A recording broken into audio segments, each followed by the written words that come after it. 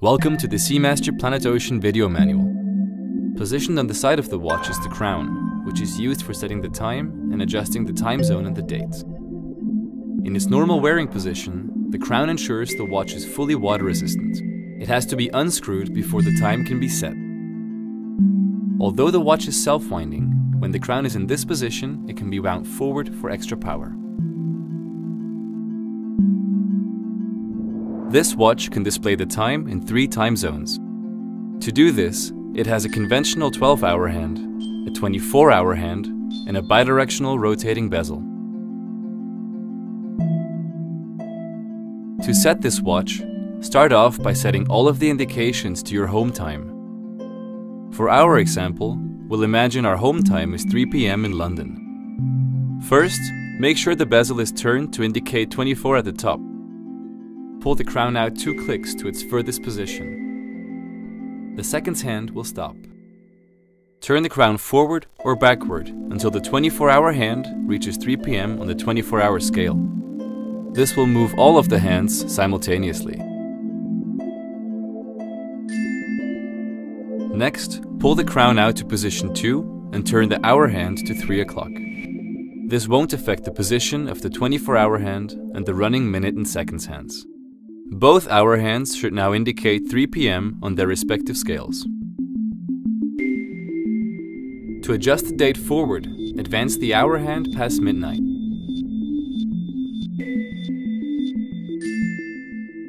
To adjust the date backward, move the hour hand back past 7 p.m. to ensure it changes.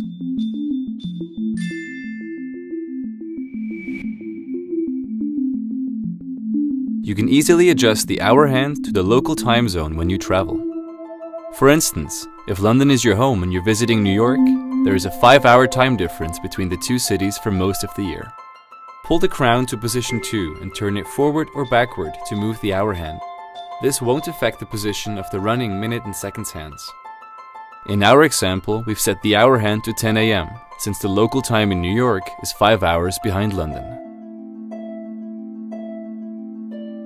To reseal the crown, make sure it's in position 1, then push it firmly while screwing it clockwise. A third time zone can be read by adjusting the bezel in relation to the 24-hour hand position. For example, if you'd like to keep track of the time in Hong Kong, which is 8 hours ahead of London, turn the bezel counterclockwise by 8 hours and read the time indicated on the 24-hour scale.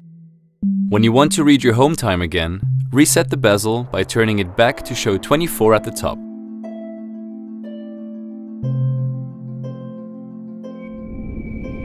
For ease of reading in low light conditions, the watch's hands and applied indexes are coated with superluminova, which emits a blue light.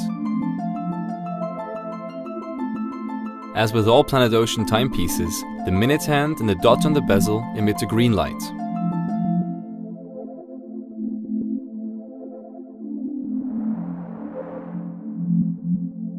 A feature created specifically for professional divers is the helium escape valve. When they are working at great depths, these divers spend several days in a pressurized environment. Here, they breathe a special blend of gases containing helium. The small helium molecules are able to push past the seals and enter the watch case. To operate the valve, unscrew it as the decompression process is taking place. The helium escape valve allows these molecules to escape in a controlled fashion.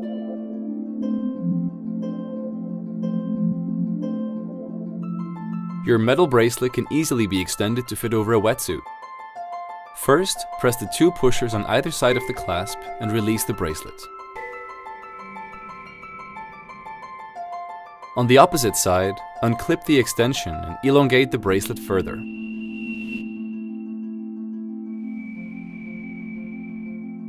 To reset the bracelet to its original length, simply reverse the process. Carefully replace the extension so that it clicks properly into position.